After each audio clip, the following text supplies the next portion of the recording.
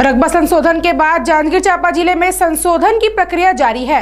ज़िले के नौ तहसीलों के तहत अब तक 5,337 किसानों के रकबे में संशोधन किया जा चुका है जिसमें 2,446 हेक्टेयर धान का रकबा बढ़ा है। रकबा बढ़ने से अब किसान ज़्यादा धान बेच पाएँगे।